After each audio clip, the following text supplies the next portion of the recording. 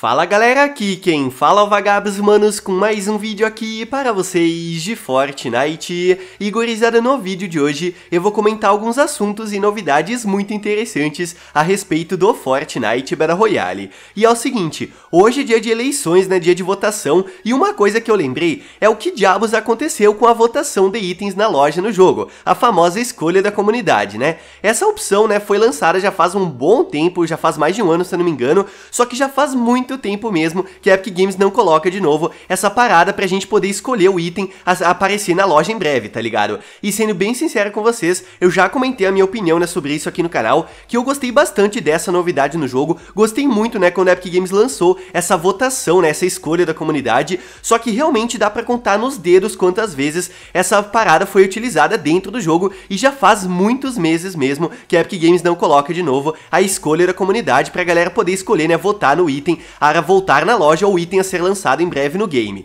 E tipo assim, eu não vi ninguém reclamando a respeito dessa novidade quando foi lançado, afinal não tem como não gostar disso, tá ligado? O item mais votado aparece na loja, então né, isso é muito bom pra comunidade. Só que infelizmente, pelo jeito, a Epic Games esqueceu, né, que um dia isso aí foi lançado no jogo, porque realmente, né, faz muito tempo que eles não colocam de novo essa escolha aí da comunidade na loja. Mesmo assim, né, achei uma curiosidade interessante para comentar com vocês. Eu sinceramente sinto falta disso, né, sinto saudades, então deixe nos comentários se você também sente saudades aí dessa parada na loja do game. E manos, olhem só, aproveitando aqui o assunto de loja, itens e tudo mais, eu quero falar sobre uma teoria da possível volta dos itens do conjunto do Travis Scott. Olhem só que interessante, tipo assim, né, todo mundo sabe que no início do ano teve aquele evento fantástico do Travis Scott no game, aquele evento, né, simplesmente sensacional, e logo em seguida lançou no jogo os itens, né, fizeram parte do evento. A skin do Travis Scott, a skin do Astrojack, enfim, né, todos os itens do conjunto que não voltam no jogo já faz um bom tempo. E se eu falar para vocês que no dia 18 de novembro, agora já na quarta-feira, os itens podem aparecer na loja. Porque olhem só, esse post foi publicado lá no Reddit e o cara escreveu o seguinte: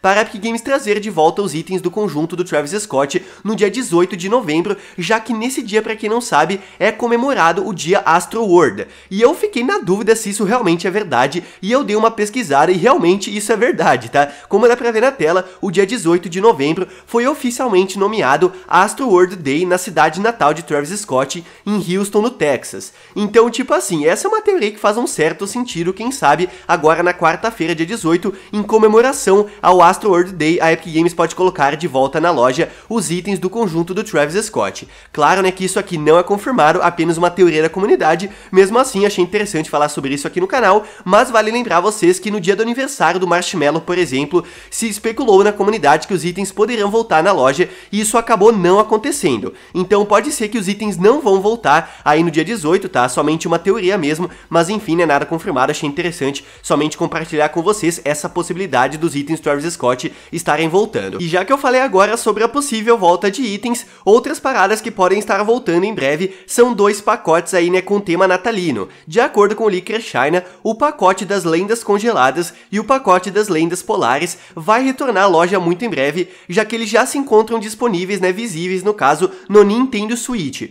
Então, se você gosta de um desses dois pacotes, né, fique ligado, eles podem estar voltando muito em breve. Lembrando que os dois pacotes custam o mesmo preço, né, 77 reais cada um. O pacote das lendas congeladas foi lançado no Natal lá de 2018, se eu não me engano, tem três skins na versão de gelo, obviamente, e o pacote das lendas polares foi lançado no ano passado e apesar de custar o mesmo preço, tem quatro skins, tá ligado? Então tá aí dois pacotes que podem estar voltando muito em breve para você ficar ligado aí na loja do game. E rapaziada, outro assunto que eu quero comentar com vocês é um post que foi publicado lá no Reddit que eu achei bem interessante a respeito do design dos desafios dentro do menu do jogo. Essa imagem aqui foi publicada pelo usuário Ghostly lá no Reddit e ele colocou, manos, como dá pra ver, o design dos desafios e também do passe de batalha como se fosse o design antigo lá do capítulo 1. E olhem só que legal que ficou. Bom, na minha opinião, somente o design do passe não precisa mudar, tá ligado? Eu tô muito contente, pelo menos, com o design atual do passe de batalha, eu acho ele muito legal, né, com vários detalhes interessantes. Eu não vejo necessidade em voltar pro design antigo, mas como dá pra ver na imagem de cima, ele colocou, né, o design desse passe como se fosse o design do primeiro capítulo e ficou legal também. Mas embaixo, né, que eu achei mais interessante, que ele colocou o design antigo dos desafios.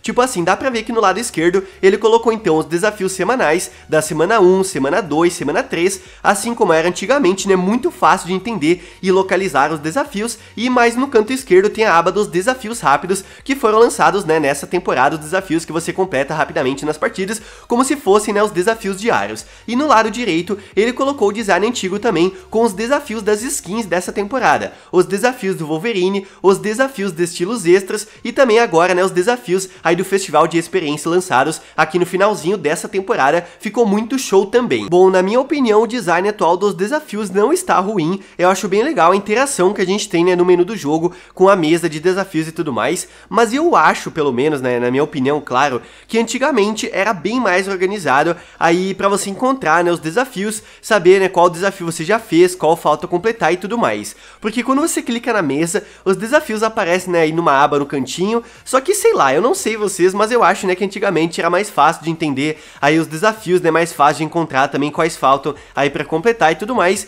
Então eu achei bem interessante esse design que ele fez dos desafios, utilizando o design antigo do primeiro capítulo do game. Claro, né, que eu acho bem difícil a Epic Games voltar pro design antigo, afinal, né, tudo é uma evolução, acredito que se mudar no futuro vai ser para outra coisa e não voltar como era antigamente, mas enfim, né, apenas a minha opinião, né, quem sabe a Epic Games possa fazer uma mudança no futuro, deixando um pouco mais organizado aí a questão do design dos desafios dentro do menu do game, e enfim, deixe nos comentários a sua opinião a respeito do assunto também. E ontem, manos, pra quem não percebeu, o Galactus começou a desaparecer no céu do mapa. Como dá pra ver na tela, agora ele tá ficando bem mais invisível, né, vou dizer assim, tá bem difícil de enxergar ele durante as partidas lá no céu, então tem muitas pessoas pensando que ele tá se afastando da ilha. Só que, manos, quero deixar bem claro, né, que isso não é verdade, muito pelo contrário, ele tá chegando cada vez mais perto do mapa do jogo, afinal essa temporada tá quase terminando e o evento final, né, tá prestes a acontecer. Então mesmo que o Galactus desde ontem está, digamos que desaparecendo no céu, né, não indica que ele tá se afastando da ilha,